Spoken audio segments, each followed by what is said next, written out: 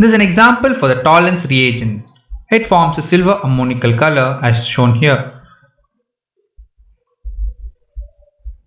This is an example for the Fehling solution. Oxidation. All the oxidizing agents like acidified potassium dichromate or acidified or alkaline potassium permanganate and even milder oxidizing agents like Tollens reagent and Fehling solution oxidize aldehydes to monocarboxylic acids having the same number of carbon atoms. Ketones are oxidized only by the strong oxidizing agents to monocarboxylic acids having lesser number of carbon atoms. That is, ketones producing monocarboxylic acid which is one carbon less than the reactant. Popoff's rule During oxidation of unsymmetric ketones with oxidizing agents which brings about the cleavage of the carbon-carbon bond, the smaller alkyl group goes preferentially with the carbonyl group resulting in the carboxylic acid. We can see here the A cleavage and B cleavage of this carbonyl group producing the minor products which is N-butyric acid whereas the major product is nothing but acetic acid along with propanoic acid.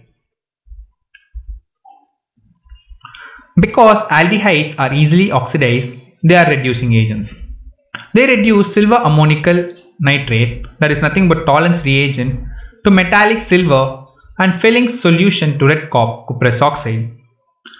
Acetaldehyde when reacted with Ag plus and OH minus, it produces the acetate ion along with the silver mirror.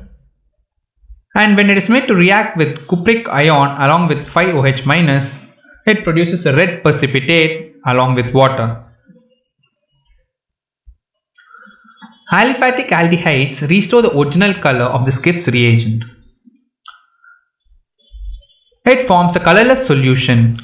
This colorless solution is used for the test for aldehydes.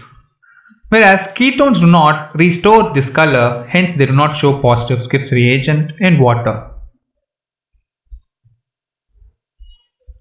Polymerization When aqueous solution of formaldehyde is evaporated to dryness, it forms a white crystalline polymer called paraformaldehyde as we can see here.